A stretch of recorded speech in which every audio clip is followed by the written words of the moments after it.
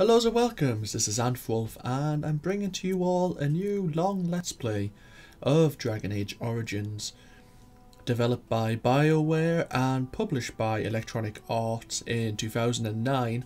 This is going to be the 2010 Ultimate Edition which includes a number of the DLC that was released later after the main game was uh, which some of it I will be doing, some of it I won't be doing depends how I feel at the time. Uh, as always with these long Let's Plays, I basically just want to have a spend a couple of minutes talking about what this Let's Play is going to involve and you can decide whether or not it's going to be for yourself. This is mostly a blind Let's Play. I have played maybe about a quarter of the game. I have this habit of starting the game again and trying out a different um, story arc, like story arcs at the beginning, because Similarly to BioWare's Mass Effect, um, which was released about the same time, this is an RPG in the swords and sorcery kind of genre, when you can choose your class at the beginning, choose your race at the beginning, and for in Dragon Age, there's actually different opening scenes, different prologues you can play, and there is a number of endings as well. Those I mostly know about, but I've never actually got to them myself. This is quite an unforgiving game at certain points, when micromanaging it, your party is can be important, whereas I have been, of late anyway, more of the point of playing my main character and letting the AI organise the rest. And sometimes that's good and sometimes that's very bad.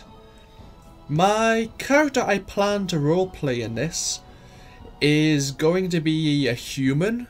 Uh, he's going to be a rogue-like character.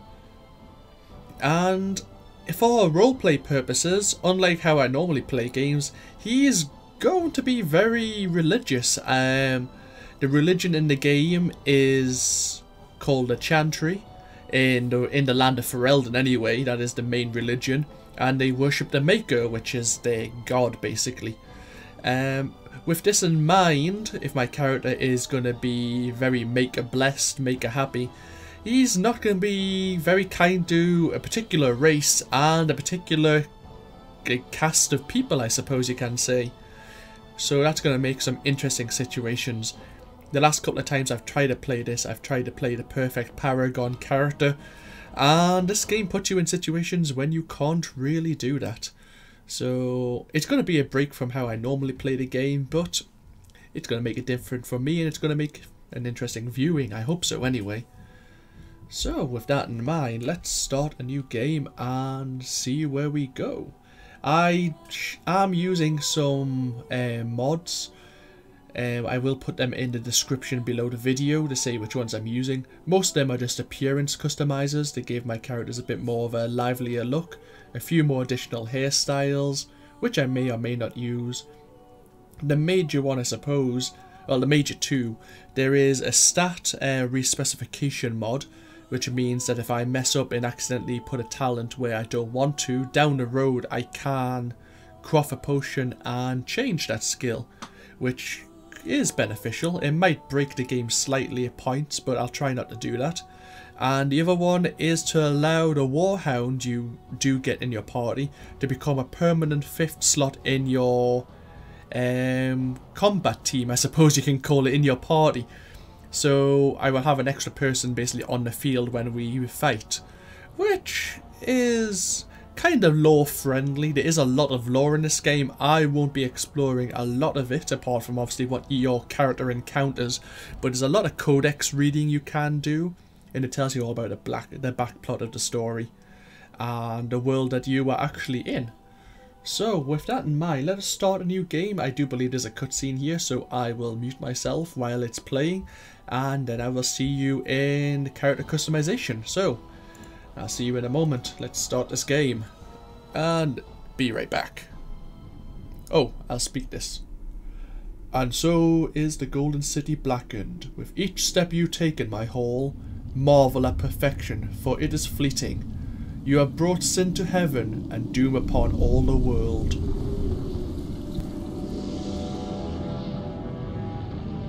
The Chantry teaches us that it is the hubris of men which brought the Darkspawn into our world. The mages had sought to usurp heaven, but instead they destroyed it.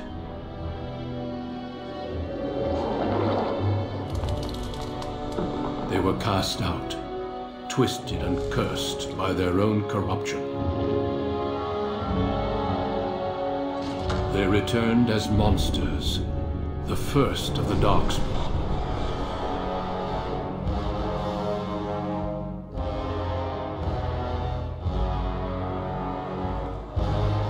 They became a blight upon the lands, unstoppable and relentless.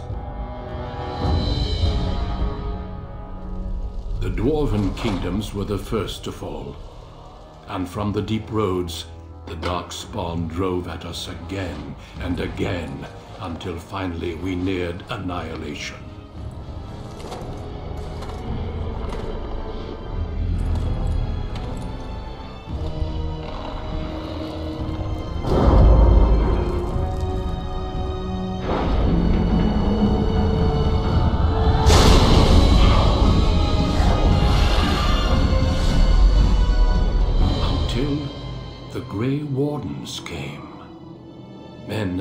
From every race, warriors and mages, barbarians and kings. The Grey Wardens sacrificed everything to stem the tide of darkness and prevailed.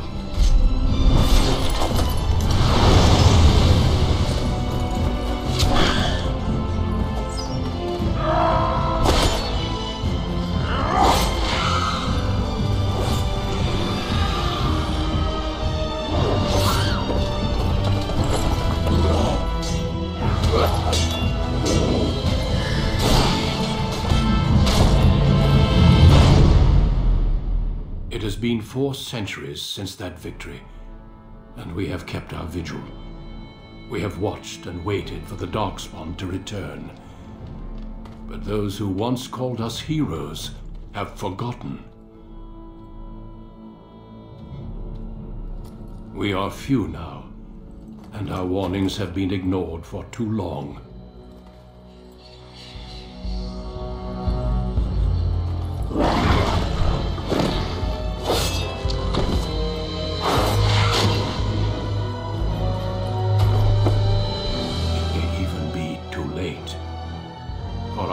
Seen with my own eyes what lies on the horizon. Maker, help us all.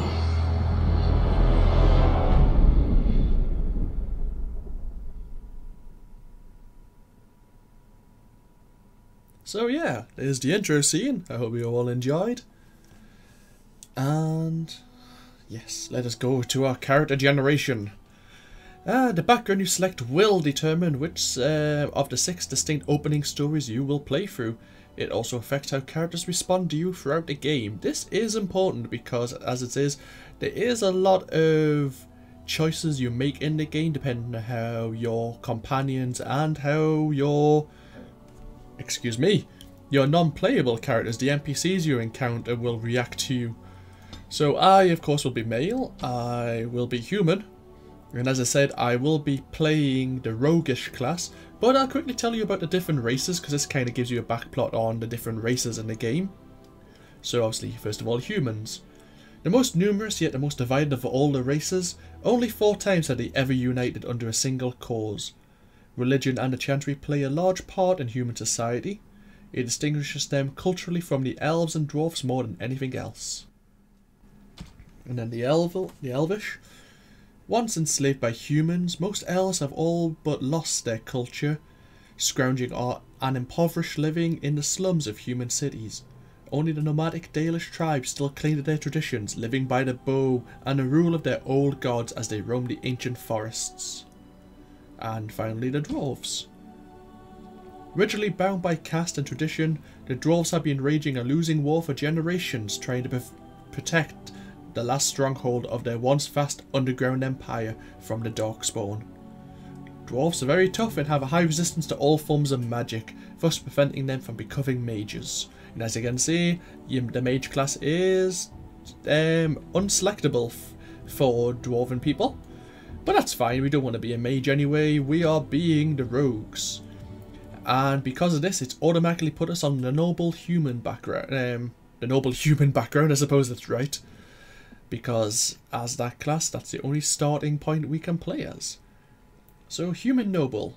Born to wealth and power, second only to royalty, you find your training in both diplomacy and battle put to the test as your brother leads the bulk of your family's forces to war in the south. And that's the same if you play as the warrior as well. So, human noble. That's a thing.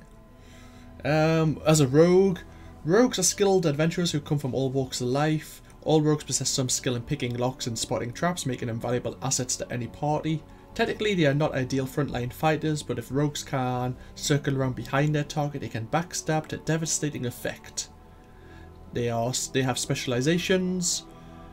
Um, they also get benefits in dexterity, willpower, and cunning, which is absolutely fine by me. Greetings. And now we have the entire appearance and voice customization.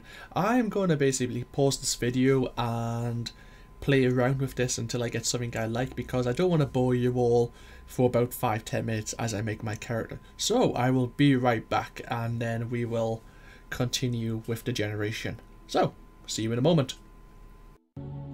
Hello and welcome back. I spent about 5 minutes just playing around with my character creation there and managed just to create this guy who I've called Anthoris.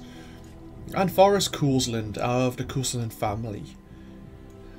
Uh, of the Cousland noble family, in fact. So, I've chosen my voice as I just kept it as the wise, so you can hear that a little. I need by, please. Till we meet again. yes, and with that, let us continue.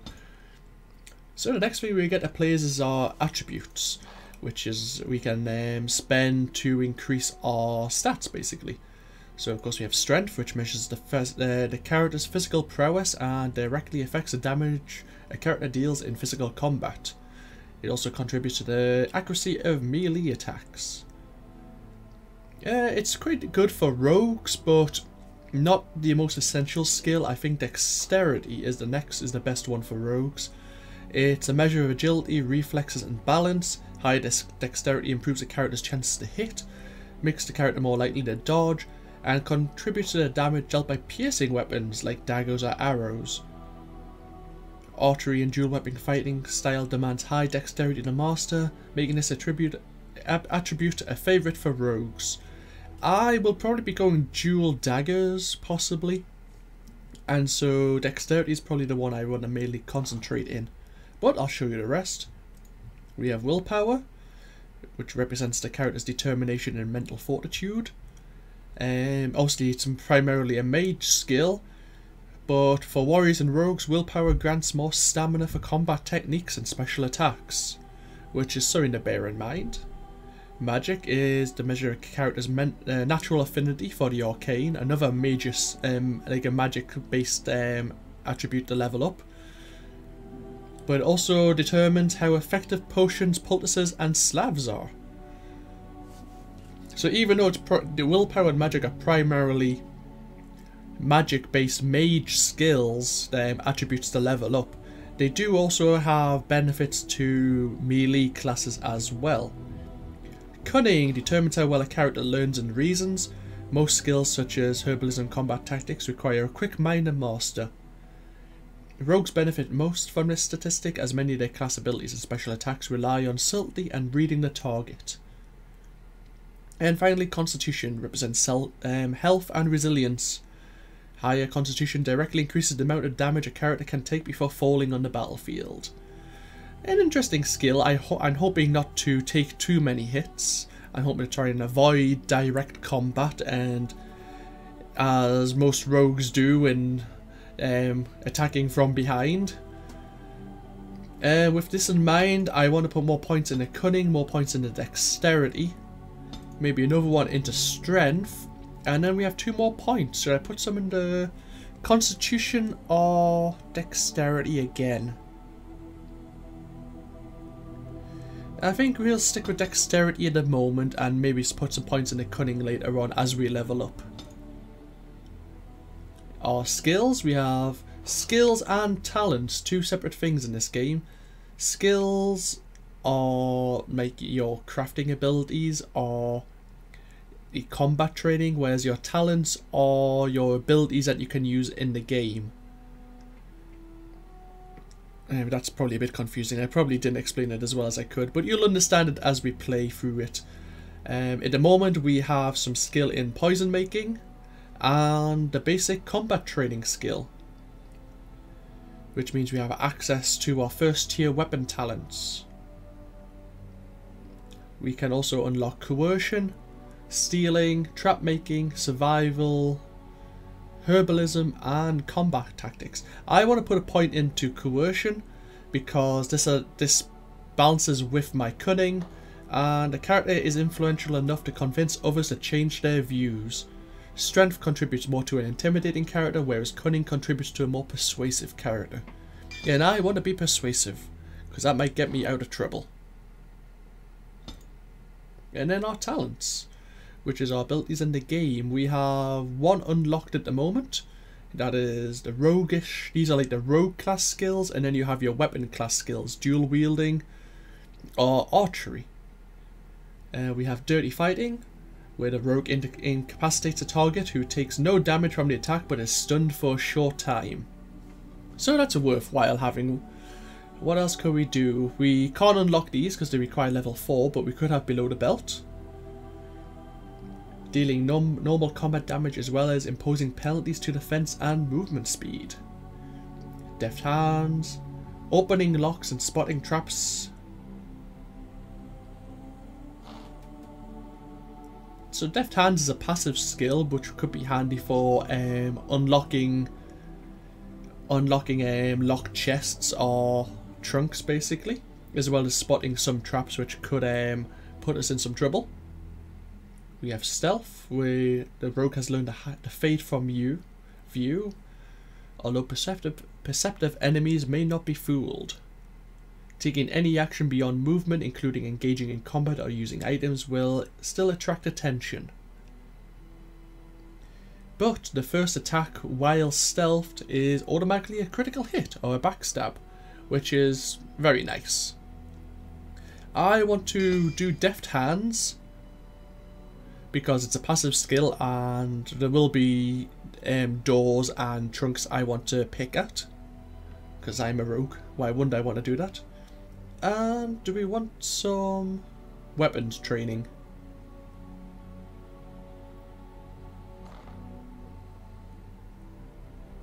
Maybe dual weapon training. Or stealth. Hmm, decisions, decisions.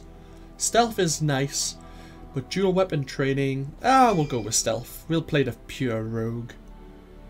But dual weapon training to allow us to um, deal normal combat damage with the offhand weapon as well. Whereas at the moment, I think we're attacking with a penalty for using an offhand weapon. Yeah, that's gonna be a bugger, but that's fine. It's still, it's obviously the beginning of the game. We haven't even done anything yet. And I think that's all the customization we can do. So let us play the game. I say this is a long game. There's a lot of people you can talk to. A lot of conversations do crop up in this game. I will be role playing as Anthoris himself. There's a lot of spoken dialogue for the other characters, whereas I will be spe speaking the dialogue options I choose for him. And bear in mind that obviously I'm role playing him as a very chant a chantry happy uh, rogue, who is of course also a noble, so hopefully I keep to my can uh, my character basically and I'll try not to make decisions that wouldn't be correct for him. But should be interesting. Let's get the show on the road. We will be playing on normal difficulty. Is it this is this is quite a hard game I find because I don't like to micromanage too much. Um, I will be playing on normal, but there might be points when I do switch it up to easy. But obviously, I'm just telling you that straight off, obviously, so you're aware of that fact. So, let's get going. For generations, your family, the Couslands, has stewarded the lands of Highever, earning the loyalty of your people with justice and temperance. When your country was occupied by the Orlesian Empire, your father and grandfather served the embattled kings of your land. Today, your elder brother takes up House Cousland's banner in service to the crown. Not against the men of Orlais, but against the bestial Darkspawn rising in the south. I trust then that your troops will be here shortly. I expect they will start arriving tonight, and we can march tomorrow. I apologize for the delay, my lord. This is entirely my fault. No, no. The appearance of the Darkspawn in the south has us all scrambling, doesn't it? I only received the call from the king a few days ago myself. I'll send my eldest off with my men. You and I will ride tomorrow just like the old days. True. But we both had less grey in our hair then. And we fought Orlesians, not monsters. At least the smell will be the same. I'm sorry, Pup, I didn't see you there. Howe, you remember my son? I see he's grown into a fine young man. Pleased to see you again, lad. And you Olho. My daughter Delilah asked after you. Perhaps I should bring her next time. Delilah's quite a bit younger than I am. Oh, as you get older, those years make less difference. A lesson often hard won. I doubt he'll be receptive, Howe. My fierce boy has his own mind these days, Maker bless his heart. As uniquely talented as his father, I'm sure. At any rate, Pup, I summoned you for a reason. While your brother and I are both away, I'm leaving you in charge of the castle. I'll do my best, father. Now, that's what I'd like to hear. Only a token force is remaining here, and you must keep peace in the region. You know what they say about mice when the cat is away, yes? There's also someone you must meet. Please, show Duncan in.